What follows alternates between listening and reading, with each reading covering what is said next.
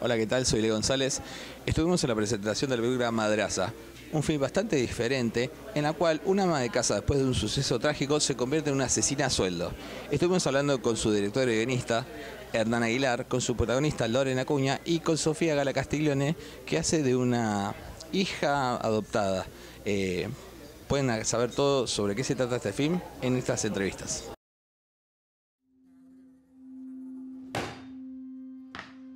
La mataste. Y así es la vida. Che, esta piba no puede seguir viniendo así. Bueno, Loren, felicitaciones por la película.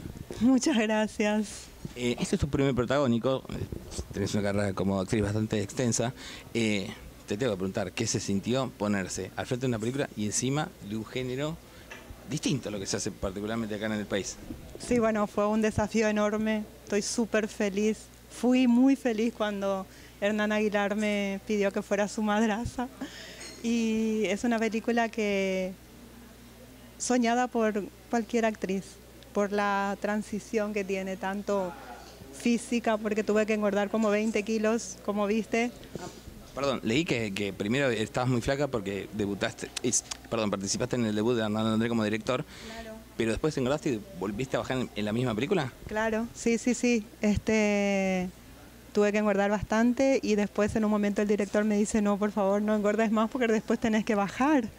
Y yo dije, oh, oh, y bueno, por suerte sí, disfruté muchísimo comiendo y padecí bastante no comiendo.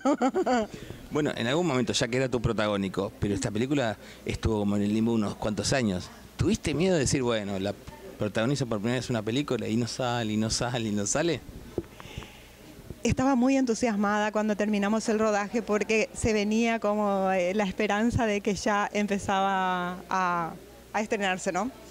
Y la verdad es que durmió un poquito, una siestita, y afortunadamente eh, llegó el momento 25 de mayo en todos los cines, es como soñado.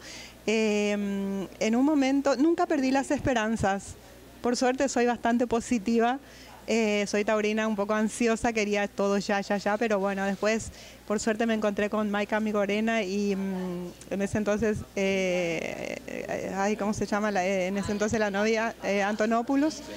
Y les me dicen, ¿qué andas? Estaba haciendo guapas en ese momento con él.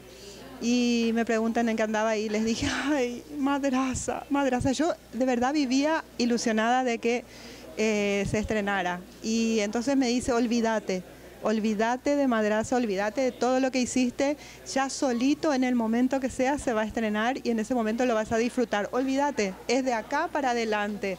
Y la verdad que eso de la palabra justa en el momento justo me sirvió muchísimo. Y, y bueno, así que a partir de ahí empecé a tranquilizarme y bueno, como todo, acá estamos. Y, otra cosa que tiene muy buena es los diálogos, tiene unos diálogos impresionantes, está como muy bien empezado todo. No, el guion es, no sé, elevadísimo. No, no, no. El guionista, el director es el mismo, o sea. Y eh, eh, es de una genialidad. Yo cuando leí el guion, cuando me llega el guion empecé a leer, leer, leer, yo tenía que irme, no sé, a trabajar y yo no, no podía dejar. Este, no, es genial. Eh, con esta película es diferente a cualquier película argentina.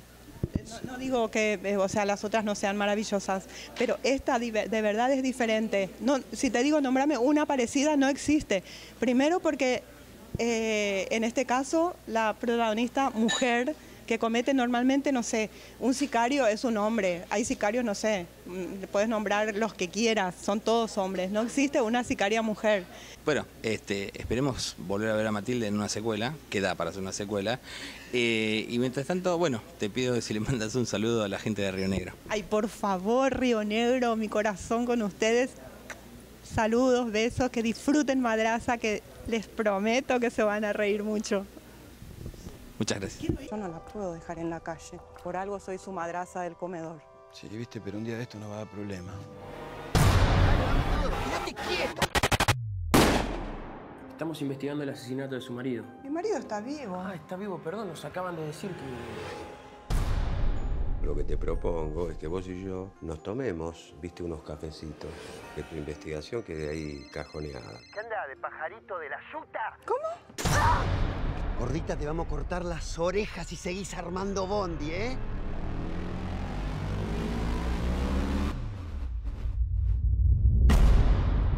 ¿Cómo estás, mucho? Hola, igualmente.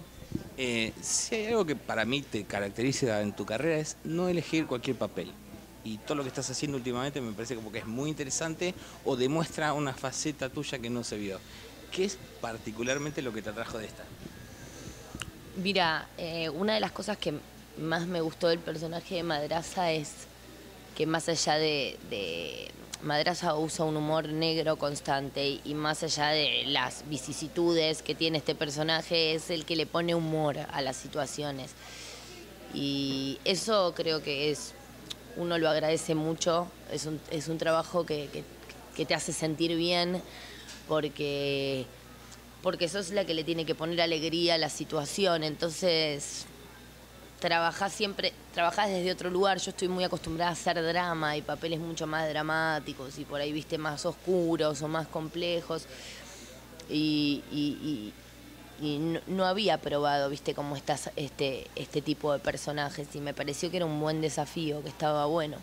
Bueno, es cierto, la verdad que la que le pone un paño frío a todo lo que está pasando, Es la que aparece y en la situación más jodida mete algo divertido desde su forma de ser, ¿no? Como, como que se toma las cosas de, de una manera más alegre, más allá de la vida durísima que tiene, tiene su mamá yonki, eh, está vagando entre una casa y otra, pero ella se lo toma con un humor que me parece que incluso al personaje de Loren le ayuda, viste, a sobrellevar toda esta realidad que, que ellas empiezan a vivir, ¿no? Ella sin saberlo y Loren con más idea. Bueno, algo interesante también es que esta película eh, se empezó a hacer en el 2012 y es totalmente actual. Sí, sí, sí. yo- para mí la hice hace un montón. Por ejemplo, cuando la vi era otra persona, ¿entendés? O sea, eh, es increíble esas cosas, viste, como algo que da para siempre y nada, y vos que lo hiciste vas cambiando y en un momento ya lo ves desde afuera. Eso fue algo que estuvo bueno de ver esta película. Ya me había olvidado totalmente de cómo la habíamos hecho, ya me había convertido en alguien más, había salido totalmente de de la sintonía del personaje y de la película y sí, es totalmente actual. Sí. Y verte vos en la pantalla cinco años después, para mí estás igual, pero digo, qué sé yo, ¿qué, qué- qué pasa con esa Sofía que está ahí? Que no estoy igual, no, no, no. No, no, no. Estaba en un momento raro de mi vida, ¿eh? No la estaba pasando muy bien yo, viste, emocionalmente. Así que mm, fue buenísimo verla y ver también, ¿no? Como uno supera todo. Como son todos momentos y también me gusta que ese momento de mi vida, en mi psiquis, para mí personalmente poder verlo en la pantalla, porque cada vez que ves algo te acordás de todo, ¿no? De cómo estabas ese día, cómo te sentía, cómo le estabas pasando, te acordás de todo un contexto. Yo como actriz que lo viví más allá de, de la pantalla y, y- y de la actuación, fue un trabajo para mí que llevó un tiempo y, y formó parte de mi vida. Así que, mm, nada, una experiencia rarísima y re linda. Yo no la puedo dejar en la calle. Por algo soy su madraza del comedor. Sí, viste, pero un día de esto no va a dar problema. Estamos investigando el asesinato de su marido. Mi marido está vivo. Ah, está vivo, perdón, nos acaban de decir que... Lo que te propongo es que vos y yo nos tomemos, viste, unos cafecitos, que tu investigación quede ahí cajoneada. ¿Qué anda de pajarito de la yuta? Gordita, te vamos a cortar las orejas y seguís armando bondi, ¿eh?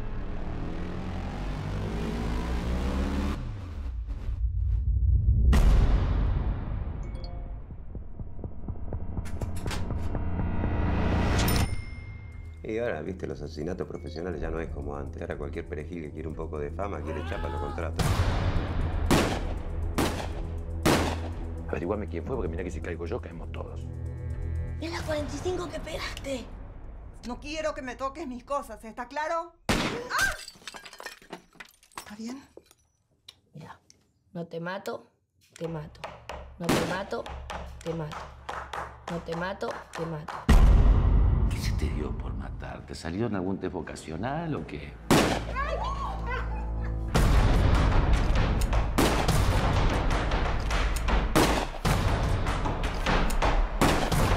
Una madraza asesina. que genera unas endorfinas.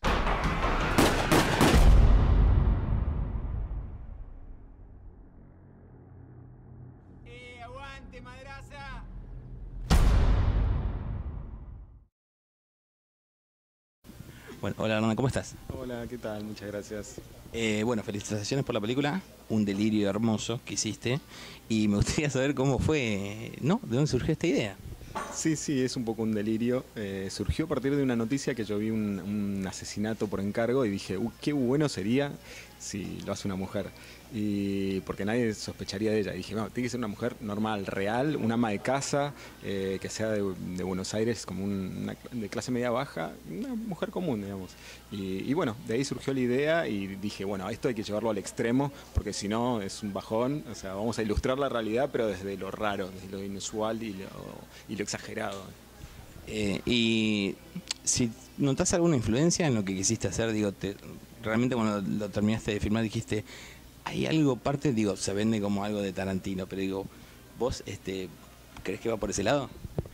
Mira, creo que hay, similitudes. Yo no lo pensé así. A mí me gusta mucho Wong Kar que también eh, está basado más. Y en, sus primeras épocas hacía películas más así. Si querés, eh, uno, uno que, por ahí tenía como más referencias Wong Kar Wai, pero sí soy consciente de que tiene mucho de Tarantino. O sea, tiene tiros, tiene sangre, eh, tiene acción.